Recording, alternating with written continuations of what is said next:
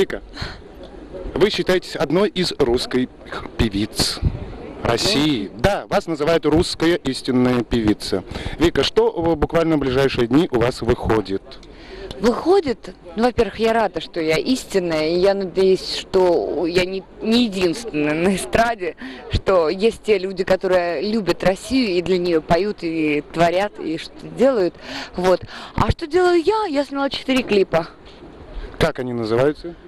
Одинокая, счастье и разлука, белая волчица и солнце уходит. Солнце уходит был выдвинут на поколение, вот та программа, которая была, но клип опоздал.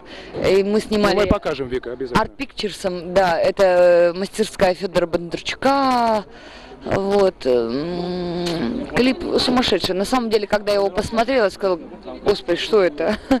Вот. Клип очень дорогой. Там очень много компьютерной графики. Суть его в том, что в каждом человеке должно быть сердце и должен быть свет, к которому он должен стремиться. Я думаю, что это дальние отголоски моей работы «Любовь и смерть». Вот.